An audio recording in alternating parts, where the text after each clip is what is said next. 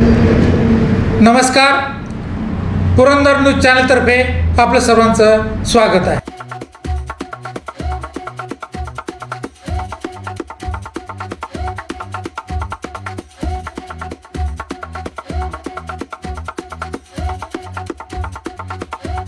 सध्या निवडणुकीचे वारं जोरदार वाहू लागलेले आहे. आरोप प्रत्यारोप अनेक नेते करत आहेत. दररोज वृत्तपत्रात टी व्हीवर माध्यमातून या ठिकाणी आरोप प्रत्यारोप सुरू झालेले आहेत. याबाबत आपली काय भूमिका? सर आरोप प्रत्यारोप ज्यांना संधी मिळाली ज्यांना पाठीमागच्या काळामध्ये संधी मिळाली ह्यांनी जर चांगल्या पद्धतीची कामं केली असती तर आज आरोप प्रत्यारोप करण्याची वेळ आली नसती. परंतु मला यांच्या खोलामध्ये काही जायचं नाही. मला पुरंदर आणि हवेलीतील सर्वसामान्य घटकापर्यंत जे काय मी माझ्या दहा पंधरा वर्षाच्या काळामध्ये जे काय काम केलं आहे समाज उपयोगी काम केलं आहे सामाजिक काम केलं आहे त्या कामाच्या माध्यमातून तालुक्यातील सर्वसामान्य जनतेपर्यंत विकास काय असतो? किंवा पुरंदरच्या विकासामध्ये जे जे काय योगदान देता येईल ते करण्यासाठी मी प्रयत्न करणार. आहे ह्यांचे आरोप प्रत्यारोप यांच्याकडे माझं कुठल्याही प्रकारचं लक्ष नाही. माझं फक्त समोर त्या ठिकाणी लोकांच्या मध्ये जाऊन लोकांचे प्रश्न सोडवायचे महिलांचे प्रश्न सोडवायचे तरुणांचे प्रश्न सोडवायचे. या दृष्टीने त्या ठिकाणी माझा फोकस राहणार आहे. हे आरोप प्रत्यारोपाकडे माझं मला त्याच्यावरती काय भाष्य करायचं नाही. पुरंदर हवेलीतील मतदारांना तुम्ही काय आवाहन करू इच्छिता? पुरंदर आणि हवेलीतील मतदार हा सुज्ञ मतदार आहे.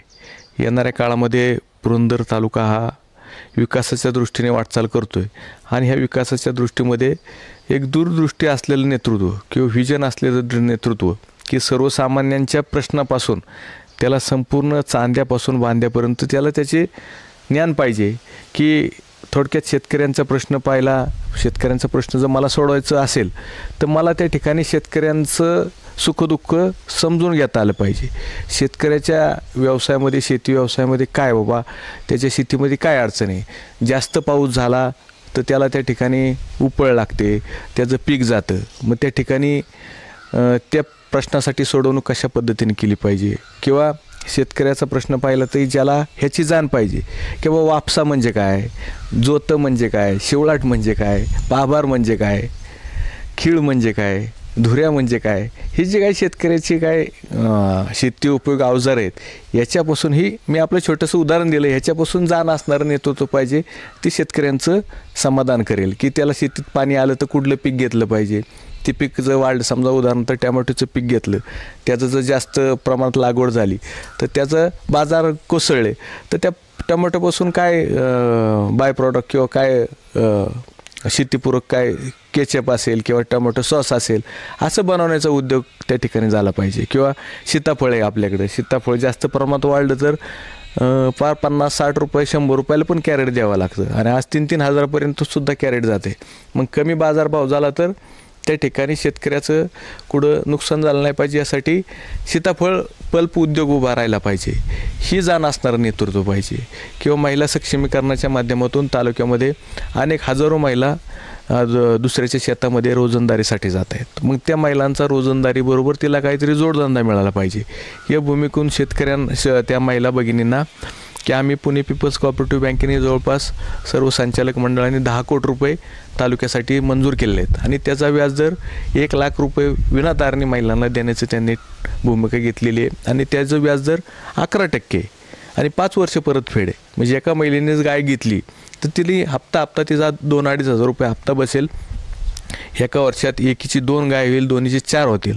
म्हणजे त्या महिलेच्या प्रपंचामध्ये कुटुंबामध्ये कुठंतरी हातभार लागेल ही भूमिका समजून घेणारं नेतृत्व पाहिजे. नंतर तरुणांना त्या ठिकाणी व- बेरोजगारीचा प्रश्न मोठा आहे तर त्यांना स्वतःचा रोजगार उभा उभा झाला पाहिजे. त्यासाठी अण्णासाहेब पाटील महामंडळाच्या माध्यमातून विना व्याज पंधरा लाखापर्यंत कर्ज पुरवठा शासन करते. दादांनी मला त्या ठिकाणी गेल्या एक पंधरा दिवसामध्ये पूर्वी भेट झाली होती. एक हजार कोटी रुपये अण्णासाहेब पाटील महामंडळाला त्यांनी त्या ठिकाणी अर्थसंकल्पामध्ये तरतूद केली. मग त्याचा लाभ त्या ठिकाणी आपल्या तालुक्यात तरुणांना झाला पाहिजे. अशा पद्धतीने त्या ठिकाणी सर्व प्रश्न सोडवण्याने जाण असणारं नेतृत्व पुरंदर हवेलीला पाहिजे. हवेलीचे प्रश्न वेगळे आहेत. नव्यानेच नगर प परिषद झाली तिचा काय फायदा तोटा आज त्या ठिकाणी तुम्ही नाही आणि कोणी सांगू शकत नाही. जेव्हा भविष्यकाळामध्ये त्याचं कार्यान्वित किंवा ती यंत्रणा चालू होईल त्यानंतरच फायदे तोटे कळणार आहेत. किंवा त्या भागातील रस्त्यांचा मोठे प्रश्न आहेत.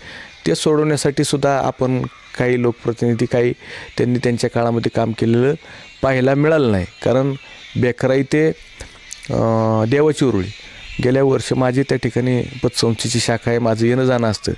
तर गेल्या वर्षभरामध्ये दहा लोकांचा मृत्यू जवळपास.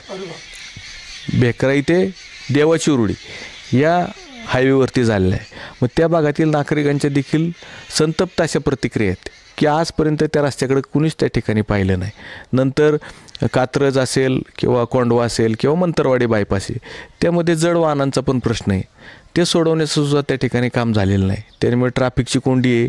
आपल्या इकडून जाणारा शेतीमाल जर शेतकऱ्याला वेळेत पुणे मार्केटला न्यायचा असेल तर त्या कोंडीमध्ये तो माल अडकतोय मग शेतकऱ्याला पुढं त्याचं जाऊन कमी बाजारभाव मिळतोय. ह्या अनेक गोष्टी त्या ठिकाणी घडत जात आहेत. नंतर कचरा डेपोचा प्रश्न आहे तो देखील त्या ठिकाणी प्रलंबितच आहे की समाधानकारक असं काय त्या तिला सोल्युशन निघालेलं नाही. मधून वेगवेगळे रस्ते जर पाहिले आता देवाची उरळे आणि मला वाटतं वजन काटा तिथला मधून जाणार रोड आहे ते एक वाडा आहे. तर आज आज देखील त्या ठिकाणी गुडगावर पाणी त्या वड्यावरती मग त्याचं देखील त्या ठिकाणी कोणाचंच लक्ष नाही. मग असे अनेक प्रश्न हवेलीचे देखील त्या ठिकाणी प्रलंबित आहेत. ते सोडवण्यासाठी एक चांगलं तरुणांच्यातलं सर्वसमावेशक आणि सगळ्या गोष्टीची जाण असणारं नेतृत्व त्या ठिकाणी या पुरंदर हवेलीला गरजेचं आहे. एवढं मला या निमित्ताने वाटतं. धन्यवाद दत्ताजी. अशा प्रकारचा सुसंवाद आपण इथून पुढच्याही काळामध्ये कायम ठेवणार आहोत. थँक्यू